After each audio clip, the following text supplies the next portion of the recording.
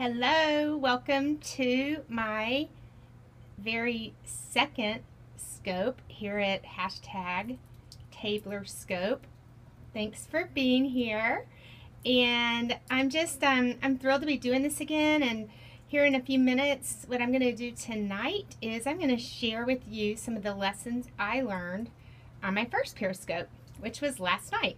And I know I have a ton left to learn but um, hey, I thought for some of you who haven't uh, jumped, jumped on yet and, and done your first scope that I might be able to share a few tips that would make it oh just a little less scary maybe. So I'm glad you're here. Um, tell me where you're from. Hello, Miss Lauren. And tell me where you're from. Tell me um, what is it that you scope about? Because I think one of the coolest things about Periscope is that um, you, as the um, listeners, can interact with each other and follow each other. So please share what it is you scope about, and then if someone else sees what you scope about, then they're going to maybe follow you, and, and you've got um, someone new that you're going to be scoping to. Hi, Sherry. Some of you, I can't tell your names by your scope name, but that's okay. All right, so you might wonder why I have a cupcake um, in front of me here, and that is because it is the birthday blogiversary weekend of Tabler Party of Two, and I'm super excited about that. I've been blogging for one year at Tabler Party of Two. Hello, Inspired Findings and 180 DIY. Yeah, I've been blogging for exactly one year at Tabler Party 2, so I'm celebrating this weekend and just thrilled that I've had the chance to share what God puts on my heart, um, whether it be recipes, DIY projects, um, I share faith stories and emptiness travels um, with my cute husband Tommy. Um, so that's sort of what Tabler Party 2 is about. But lately, what I've really been enjoying is helping to teach other newbie bloggers um, some of the things I've learned. So thanks for being here. Be sure to swipe to your right and share. If you're on an iPhone, swipe to your right. You can share this with your friends. Thanks for the hearts.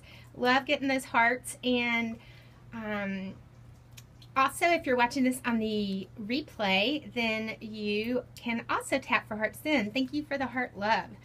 Okay, we're going to get started here. All right, so I'm sitting in my backyard again since I don't have any lighting yet. And ooh, I'm still learning and you've got my hand. Oops, hi. Okay, we're just going to have a hand for now. Um, let's see. I'm sitting in my backyard. I'm in Palm Desert, California. It is 107 degrees. Nice and um, warm here. And okay, note to self, I hate that you're looking at my hand with the selfie stick, but I'm going to have to get over it for now because, oh well, it's just there. All right, so um, I'm outside because I think it's important to have good lighting when you're going to do a periscope. And so I didn't have any good lighting in the house and I haven't ordered my cool lights yet that I'm going to use. I know, ouch, it hurts, it's painful ugh, I got to get past it. um, so I'm outside again, and here's what I want to share. By the way, hashtag, hashtag Tabler Scope whenever you want to share anything. And um, definitely ask me questions, and I'll be happy to answer them um, towards the end. And yes, it's hot, so I might be a little shiny here. That's okay, though. Um, so are some things that, that I learned um, on my first scope. First of all, I wanted you to know that I rehearsed it one time. And I say I rehearsed it one time and not more than once because I didn't want to be neurotic about it, but I sort of wanted to just see what it is I was going to say and how it came across and what I looked like. And the biggest thing I learned, ironically, is that my hand was in the scope, and I thought, oh, I can't do that. But um, I fixed that yesterday. It's not fixed today. Um, so I was really glad I rehearsed it one time, and it just was five minutes, and I looked at it with my husband, and it's like, okay, I'm ready to do this thing. So that was the first thing I did um, that I was really happy that I did. I also um, created a title with emojis and my personal hashtag, so I hope that you'll create a hashtag for yourself and um, always remember to put a title on there. I turned off the location because although I love all my peeps, I don't really want to advertise exactly where I live. Turned that off. Made sure I set it broadcast to Twitter. And let's see, I also got on Katch Me, and that's K A T C H dot me. So that my periscope would be recorded and wouldn't just go away forever in 24 hours, which it's about to go away, the one from yesterday. Um, another thing I did, and I'm not sure I've been doing it tonight, but that's okay. I'm learning and I just want to help you.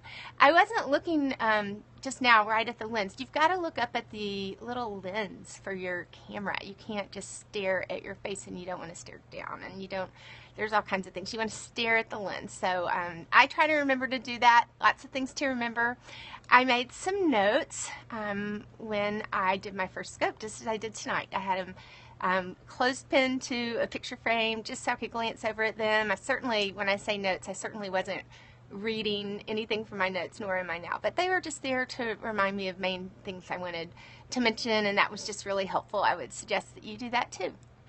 Um, again, I did it outside because I didn't have any lighting, and so I thought it was important to have good lighting. So I'm outside again.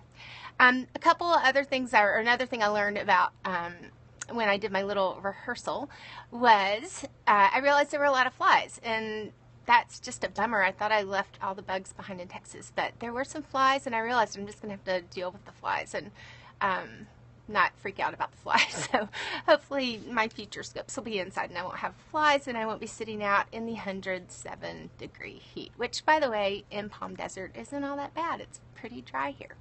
A couple other things I want to share. Um, after I did my rehearsal, um, I rehearsed my scope and went to do my uh, live scope, uh, I knew I needed to do my title but I wasn't sure how to do my title. And I've even been watching a lot of scopes. I've been taking notes. I've done an, a quickie online course, and I was like, okay, I know I'm supposed to do a title, but um, where do you do the title? I had to go look it up real quick. So make sure you figure that out before you start. And then the next thing I learned was um, the camera was not facing me, and I wasn't sure what to do about that. So again, I had to delay my scope. I had to run inside and Google. It's something I didn't learn in the course. Thanks for the hearts. Um, I had to run inside and figure that out. All you do is double tap the screen, and that will flip the camera where it's facing you and what you have to say. So that's pretty awesome. I know these are pretty minor things and a lot of you have been doing your scoping for a few weeks or months and this is pretty elementary, but I really wanted to speak to those of you who just haven't done it yet. You want to do it just like I did two days ago. I really wanted to do it, but I just hadn't um, gotten up the guts yet. So yesterday I talked about fear and having to just step through that, get to the other side of fear and know that you can just conquer it. Today's a lot easier than it was yesterday. In fact, it's actually fun now. I'm not really nervous or anything anymore. So um, that's a nice thing that once you do it once and you get over the fear, it's not so scary the next time. Um, just a couple last things I want to share with you. If you um, let's see. I I um, blog, like I said, at tablerpartyoftwo.com, and we have a link party going on right now through Tuesday night. And, um, oh yeah, someone's saying it's scary, you want to do it, just do it. Say yes, just do it.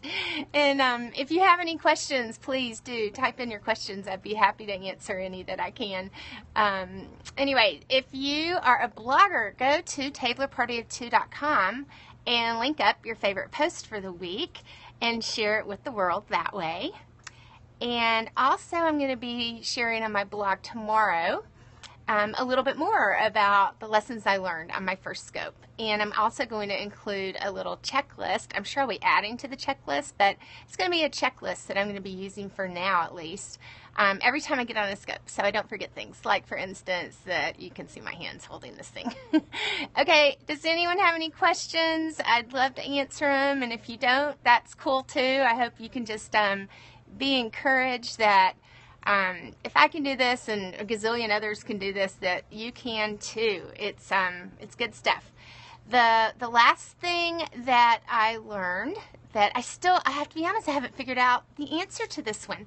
When I was ready to end my scope, I said I'm signing off now. It's been fun, and I um, I realized I wasn't sure how to end my scope. And I had seen a scope done by another um, new gal, and she wasn't sure how to end hers. And I thought, oh, note to self, you got to know how to turn this thing off when it's time. And um, here I was at the end of my scope, and I didn't know how to turn it off. And I've researched it a little bit today, and I still don't know, um, other than to go back to facing the camera the other way. So next time I get back on here, I'm going to know how to turn this thing off from right now where it's facing me. I see others do it all the time. Someone told me swipe down. Okay. All right. So thank you. You guys are awesome. Thanks for being here. Get on. Do your scope tomorrow. Okay. God bless. Let's see how this works.